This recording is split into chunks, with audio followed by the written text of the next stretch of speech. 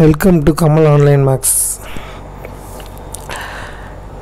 two thousand டூவில் ஒரு probability related question கேட்டிருக்காங்க. நம்ம அதை இப்போ பார்க்க போகிறோம் the sample space S consist of four elements A one A two A three A four which one of the following defines a probability space on S options கொடுத்துருக்காங்க.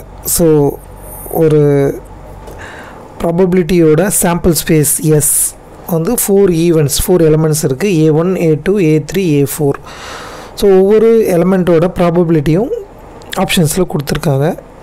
அதில் எந்த options வந்து ப்ராபபிலிட்டி ஸ்பேஸ் அந்த sample ஸ்பேஸை define பண்ணோம் அப்படின்னு கேட்குறாங்க so A one A two A த்ரீயோட ப்ராபபிலிட்டிஸ் கொடுத்துருக்காங்க.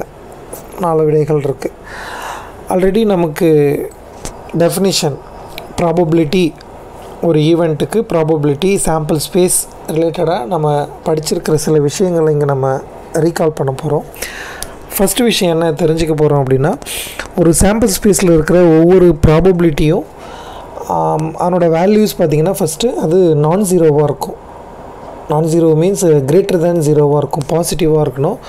அதே நேரத்தில் அதனோட வேல்யூஸ் வந்து ஜீரோ ஒன் அதுக்கு இடையில தான் இருக்கும். எக்ஸாக்டாக ஜீரோ இல்லை எக்ஸாக்டாக ஒன்று இருக்கணும்னா எப்போ இருக்கணும்னா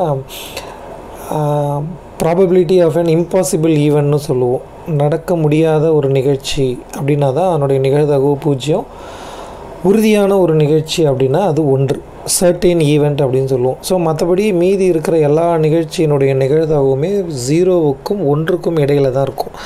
அதனால் ஜென்ரலாக ஒரு சாம்பிள் ஸ்பேஸ் எஸ்ஸில் இருக்கிற ஈவெண்ட்ஸ் ஒவ்வொரு ஈவெண்ட்டோட பாசிபிள் வேல்யூஸ் இங்கே நம்ம A one A two A three A ஃபோர்னு எடுத்துக்கிட்டதுனால ஒவ்வொரு A one A two A three A ஃபோருமே அதாவது each A I probability of A I value பார்த்திங்கன்னா ஜீரோ ஒன் அதுக்குள்ளே தான் இருக்கும்.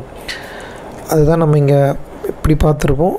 பி ஆஃப் ஏஐ வந்து எல்லாமே கிரேட்டர் தேன் ஜீரோவாக இருக்கும். அது நெகட்டிவாக இருக்கக்கூடாது அப்படின்னு பார்த்துருப்போம்.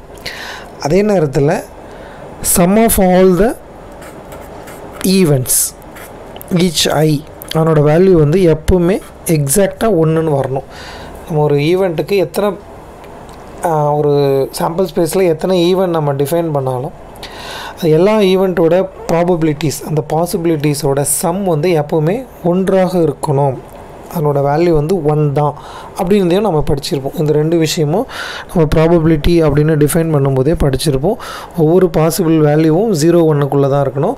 எல்லா பாசிபிலிட்டிஸையும் நம்ம ஆட் பண்ணுறப்ப நமக்கு ஒன்றுன்னு வரணும். ஸோ இந்த ரெண்டு விஷயத்தை புரிஞ்சிக்கிட்டு தான் இந்த ஆப்ஷன்ஸில் நம்ம எது ப்ராபபிலிட்டியை டிஃபைன் பண்ணுவோங்கிறத கண்டுபிடிக்க போகிறோம் அந்த சாம்பிள் ஸ்பேஸ் எஸ்க்கு இப்போது ஆப்ஷன் ஒவ்வொன்றா நம்ம பார்த்துட்டே வரோம். ஆப்ஷன் பி பார்த்திங்கன்னா ஏ ஒன்னுக்கு ஒன் பை டூ ஏ டூக்கு ஒன் பை ஃபோர் ஏ த்ரீக்கு மைனஸ் ஒன் பை ஃபோர்னு ஒரு நெகட்டிவ் வேல்யூவை ஒரு ஈவெண்ட்டுக்கு பாசிபிலிட்டியாக கொடுத்துருக்காங்க. ஸோ இது வராது. அதனால் இது ஆப்ஷன் கிடையாது. அடுத்து ஆப்ஷன் சி பார்க்குறோம். அதில் பாசிட்டிவ் வேல்யூவாக தான் இருக்குது அதே போல் ஆப்ஷன் டியும் பார்க்குறோம். One by two one by four one by four minus one by டூன்னு கொடுத்துருக்காங்க. இங்கேயும் ஒரு நெகட்டிவ் வேல்யூ இருக்குது ஸோ இதுவுமே ஆப்ஷன் கிடையாது. அப்போ பியும் டியும் பார்த்த உடனே நெகட்டிவில் வர்றதுனால வேல்யூ அது இருக்காது. அதனால் அந்த டெஃபினேஷனை வயலேட் பண்ணுறதுனால நம்ம பியும் டியும் ஆப்ஷன்லேருந்து எடுத்துரும் அப்போ ஏ அல்லது சி இதில் எது விடை அப்படிங்கிறது தான் நம்மளோட அடுத்த கொஷின் அடுத்த ப்ராப்பர்ட்டி என்ன நம்ம பார்த்தோம்னா எல்லா பாசிபிலிட்டியும் எல்லா ப்ராபபிலிட்டியும் நீங்கள் ஆட் பண்ணுறீங்க அப்படின்னா sum of all the probabilities equal to one அப்படின்னு நமக்கு வரணும். ஆப்ஷன் சியை நான் எடுத்துக்கிறேன். அதனோட வேல்யூ எல்லாம் நம்ம ஆட் பண்ணி பார்க்குறேன். ஒன் பை டூ அந்த ப்ராபபிலிட்டியோட வேல்யூஸ் எல்லாத்தையும் ஆட் பண்ணுறோம் one by four one by eight one by eight அப்போ இதை ஆட் பண்ணுறேன் இது ஒரு ஒன் பை டூ இது ஒரு one by four so one by eight plus one by எயிட்னா two by eight வரும். அது ஒரு ஒன் பை ஃபோர் அப்போ அரை கால் கால். அப்போ மொத்தம் சேர்த்திங்கன்னா ஒன்று ஸோ இதுக்கு ஆன்சர் ஒன்றுன்னு வந்திருக்கு. எல்லாத்தையும் ஆட் பண்ணுறேன் அப்படின்னா என்னுடைய சம் வந்து sum of P of A I வந்து ஒன்றுன்னு வந்திருக்கு. ஆப்ஷன் சிக்கு ஆப்ஷன் ஏ என்ன வருதுன்றதையும் நான் செக் பண்ணி பார்க்குறேன். ஒன்றுன்னு வந்துச்சுன்னா இதுதான் கரெக்டு ஆன்சர் இது தான் அப்போ அதுக்கும் ஆன்சர் ஒன்று வருதா இல்லை வேறவா அப்படிங்கிறதையும் நம்ம தெரிஞ்சுக்கலாம். அப்போ ஏவோட எல்லா பாசிபிலிட்டியும் நான் ஆட் பண்ணி பார்க்குறேன். ஒன் பை டூ ஒரு ஒன் பை த்ரீ ஒரு ஒன் பை த்ரீ ஒரு one by four one by two one by three one by three one by four so add பண்ணுறேன் one by two plus one by three plus one by த்ரீனா அது ஒரு two by three plus one by four so இங்கே நீங்கள் LCM four three டூன்னு வரும்போது twelve எடுத்திங்கன்னா சரியாக இருக்கும். அப்போ டுவெல் டூனா சிக்ஸ் வரும். இங்கே twelve த்ரீனா four four into two eight வரும். டுவெல் ஃபோர் த்ரீன்னு வரும். அப்போது ஆறு ஒரு மூணு ஒன்பது ஒரு எட்டு பதினேழு பை பன்னெண்டுன்னு வரும்போது கிரேட்டர் தேன் ஒன் ஆர் அப்போ ஈக்குவல் டு ஒன்று இங்கே வராது. அப்போ இதுவுமே ஆப்ஷன் கிடையாது. வேல்யூஸ் பாசிட்டிவாக இருந்தாலும் அதனோட டோட்டல் சம் வந்து ஒன்னு வரணும். அப்போ ஒரே ஒரு வேல்யூ எதுனா சி மட்டும்தான் சரி. அந்த ஆப்ஷன் சி அந்த ஈவெண்ட்டோட பாசிபிலிட்டி தான் ஒரு ப்ராபபிலிட்டி ஸ்பேஸை அது டிஃபைன் பண்ணும் அப்படின்னு நம்ம இதிலிருந்து தெரிஞ்சுக்கலாம். அப்போ சி என்பது சரியான விடை.